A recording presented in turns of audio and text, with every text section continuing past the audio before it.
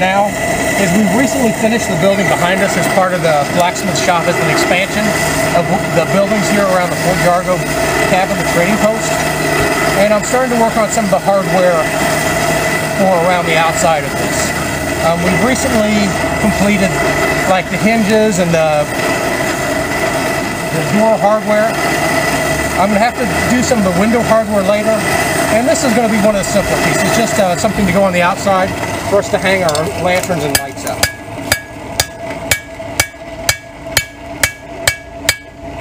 But wrought iron is actually a material.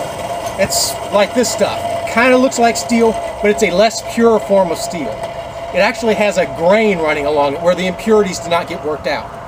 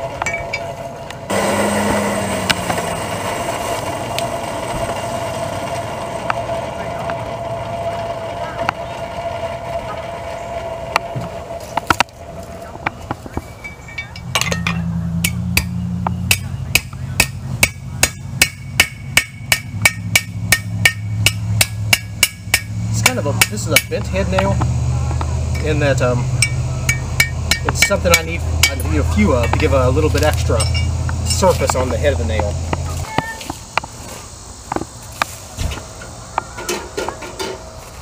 What are you quenching with? Water? Yeah, water. This is a mild steel, so I can, all I'm doing with quenching is cooling something down. If I was working with a higher carbon steel, I could have additional effect on it. But with what I'm working with now, all I'm doing is cooling it.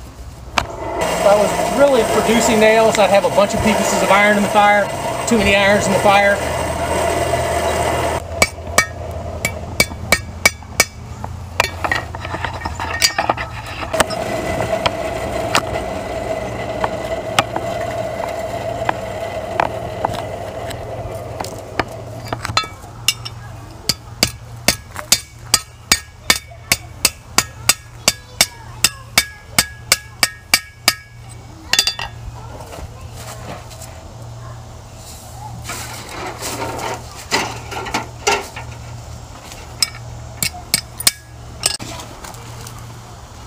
And so that took from start to finish Too much time, but too much time.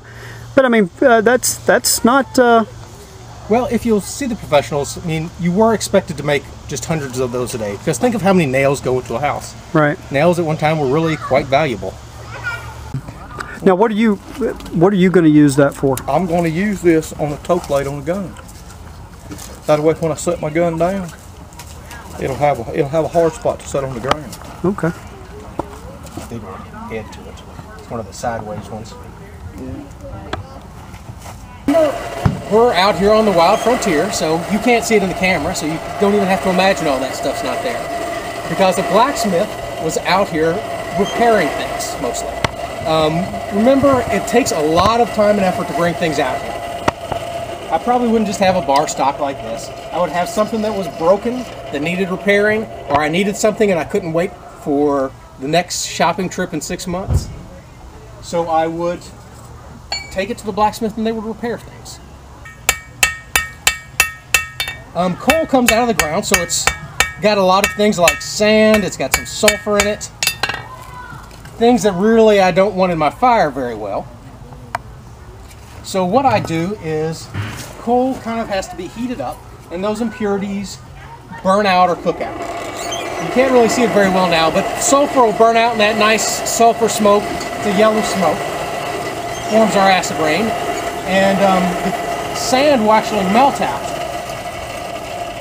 into uh, like almost a volcanic glass. I don't know if you can see that mess of stuff right there. But what's left behind is called coke. It's kind of like charcoal made out of coal. It burns really nice and really clean and it'll allow me to reach the temperatures I need to get to get the metal soft enough to work. Um, once I've got my coke made, what I want actually burning in my fire, it won't burn very well by itself. If I just leave it here, it's not going to go up into a big bonfire. It's actually going to go out eventually. So what I have to do is I've got to blow air through it. And that's what I'm doing with this thing over here. This is called a centrifugal blower. Um, it's got a gearbox in here and a fan in here, and that's blowing air. If you think of when you're, if you've got a coal in a campfire, if you blow on it, it turns a brighter orange. That's what I'm doing, but more constantly. If you can see in the fire at all, you get some of that out of your way. If I stop, it gets kind of a dull orange. Whereas if I start turning on the hand, handle, it gets a much brighter orange. It's starting to get hot. And my metal is never going to get hotter than my fire. So I do want to get my metal as hot as possible to a certain point. This is uh, called an English style or a farrier style anvil. Um, a farrier is actually somebody who makes horseshoes. And that's what this anvil was originally designed for. If you look at the horn of the anvil, it's actually an oval. It's for building, bending an oval shape around a horseshoe. Um, this, the brand happens to be a Fisher anvil. It was made in 1897. This is what is called a cross peen hammer. The peen is the back of the hammer. It's the part you're not striking with. Um, it's called a cross peen because if you look at it, it goes across the handle of the hammer. Most of these, once you see them, are really pretty easy to understand. I mean, everybody's got a ball peen hammer at home, but hardly anyone ever uses them. It's because the ball is used for metalworking. It was a blacksmith's tool. You use it for shaping the metal. If I hit with a cross peen hammer, it forces the metal this way and this way. If you hit with a ball peen hammer, it forces the metal in every direction.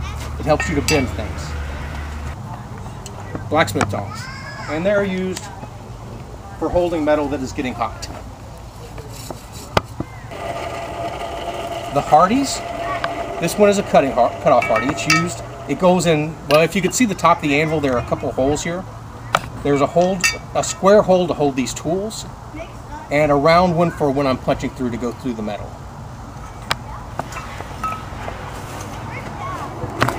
And that's pretty much all I got, man. Good, no problem. That's that's more than enough. That's fantastic.